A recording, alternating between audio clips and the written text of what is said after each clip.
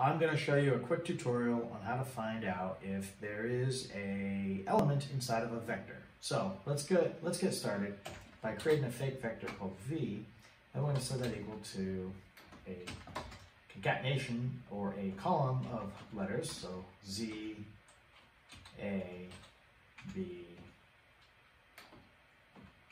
b. We'll do a again just to show the repeats, and we'll do e. Okay, so we set our, our vector v up, uh, command enter on that.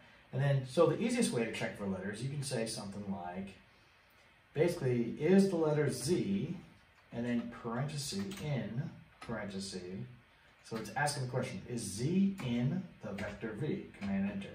You get down here at the bottom, true. Easy enough, right? Uh, let's try a different letter. Let's try r in in And that should be a false, and we get a false, just like we'd suspect. But if we did A in V, we'll, get true, but we only know there's only one in there. So let's let's try some other methods here. Let's do a any method. So we're going to do, it's just called any, and it's a function, and you just put in any A in V, well, A comma V, is there any a of v? So it's another way to do it. We're going to see another way of doing this. We can say any, and it's a function called any, and we say, is there any A equal to anything inside of V? And the answer is true. Any R equal to V, and the answer should be false, and it is. So it's another method we're going to use another one called is.element. So is.element, and it's simply a comma v. So you're just going to have to know your functions and which one is going to give you the best uh, readability. Depends on what you're doing. So is dot element r. Instead of using the word in, it's a comma. Instead of using the equality operator, equals equals, it's a comma. So you can see the various differences here. Now let's do a match, and a match is slightly different. A match will tell you the, the corresponding um, position of the letter. So if we do match, and we say match A in V, you notice we'll get the, um, the number two out, so it's the second element, but it's also the fourth element. So, so be careful with match. Match will not give you all of the results. And finally, if you want all of the results, we're going to use which, W-H-I-T, W-H-I-C-H which A, comma, V, and this will give you a corresponding, oh, see, this is why it gets confusing. Which A, which A is equal to V, so 2 and 4, which gave you the right example. If we do which, and we put in uh, the letter R equals V, we will get a basically null value, integer 0, so it's not in there. Um, so be careful on the equal equality, the in, and the um, single return versus the vector of numbers that are being returned. This could be quite confusing. Now let's take this up one little notch and we'll use the mtcars as an example. Let's do my data and set that equal to mtcars. Run that and I'll show you that my data, we're going to just pick a random thing here. We're to say, uh, let's say horsepower. We know there's a 93 inside of horsepower, so HP is a 93.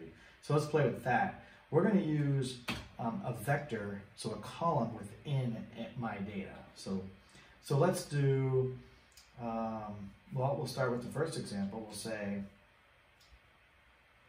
in, I, it should work in quotes, is 93 in, and now we don't want to use my data by itself. Excuse my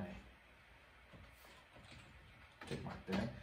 93 in, we're not going to say mtcars because we want to match to a column. So we'll do mtcars, dollar sign, and I said that was horsepower, so comma enter. The answer is true, it is in there. If I did it without that, you're going to get a false every time because mtcars is not in itself, it's it, the in function doesn't work on the entire uh, data frame, just on vectors within the data frame. So in horsepower, so you get the answer true. And the same thing would happen if I did um, other things like if I did which, let's do which, and we'll say 93. And again, now the, the which uses the equality operator. So which 93 is equal to mtcars, and you can get a slash HP. You get a vector back, which turns out to be the third position, so only one. Um, I think there was a number in there that was multiple, so my data. Uh, let's do 110 because there's multiple returns on that. So let's just do 110 and we should get 1, 2, and 4. Now what we could do is we can subset. so this is just examples of what you can do. You can use max, you can use which. So now that we know it's 1, 2, 1, 2, and 4, we could just say, hey, return me um, excuse me that I'm using mtcars and not my data, but you know, there's it's the same thing. I'm not making changes to mtcars, so it's not a big deal right now. But anyway, so we can do my data and we can subset literally just those. Um, we want just those rows, so we can say within the frame or in, within the data frame, we want to do a which statement, and we'll say 110 equals empty cars. We're going to compare it against the horsepower. So I want all the rows where the horsepower is equal to 110 and comma, I want all the columns, so I'm going to leave the column section blank. I'm going to hit the Command Enter button, and you'll see that it returned just those three rows that the horsepower is equal to 110. You see how that works within the data frame? So I just concatenated basically this which statement. Say, hey, which one of these mtcars, horsepower, are equal to 110? Return me a vector. And if the vector only has those positions, if I type in those positions, basically, the return, if I replace this entire piece right here with those positions, it's asking, give me those rows with all the columns.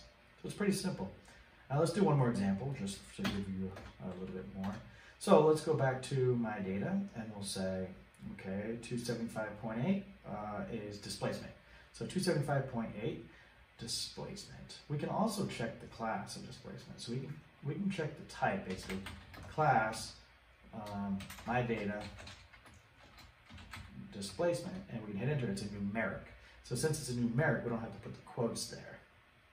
Okay, and that's just a little little more less. So my data, and we want to subset the ones that are equal to that. So which, and I said it was 110.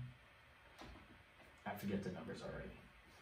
My data one 275.8 275.8 so which 275.8 is equal to the mtcars and that was the displace displacement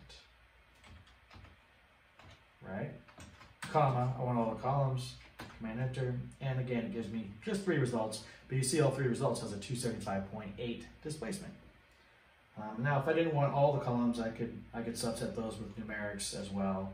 So maybe I want only columns uh, one through five, comma, and there you have it. Simple as that. So learn the in, the which, the match, and how to use it within an actual data frame. So you say, hey, of this data frame, check that particular column and make it happen.